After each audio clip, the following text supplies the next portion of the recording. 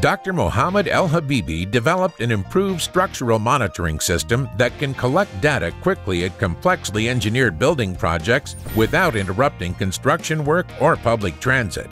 Owners now see the value of structural monitoring because it's protecting them and protecting their workers and the community because everyone would like to enjoy seeing the progress and the development in his city.